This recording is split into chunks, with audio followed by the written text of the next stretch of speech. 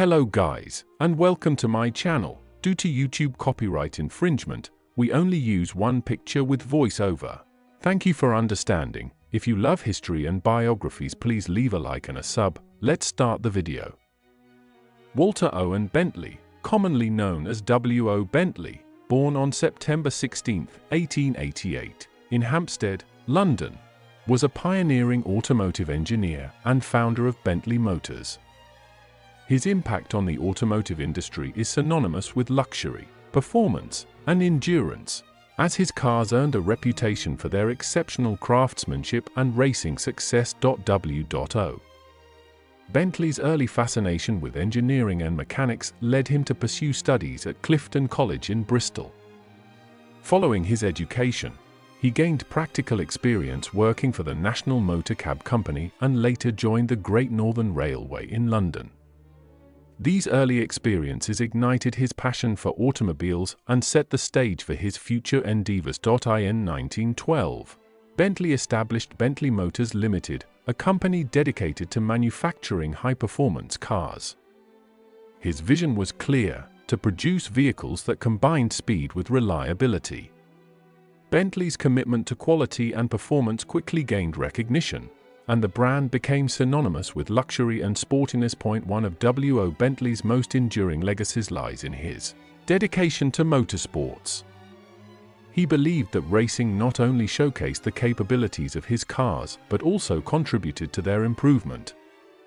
Bentley cars achieved remarkable success in racing events, notably winning the 24 Hours of Le Mans five times between 1924 and 1930. This dominance solidified Bentley's reputation for building robust, powerful, and enduring vehicles. The iconic Bentley 3-litre, introduced in 1919, exemplified W.O. Bentley's engineering prowess.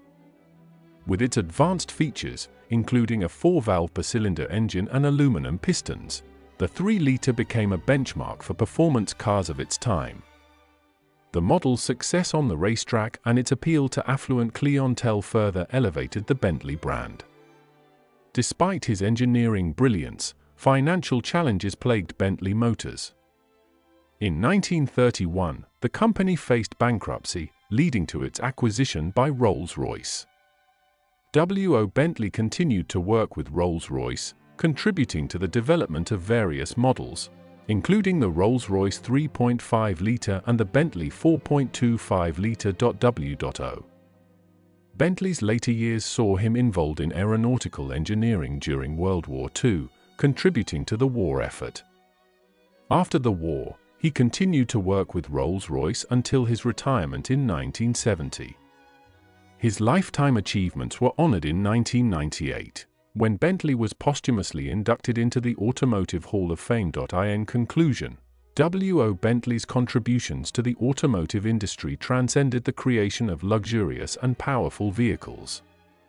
His engineering innovations and commitment to racing excellence defined an era of automotive history. Bentley's legacy lives on in the enduring elegance and performance of the cars that bear his name a testament to his vision and dedication to pushing the boundaries of automotive engineering.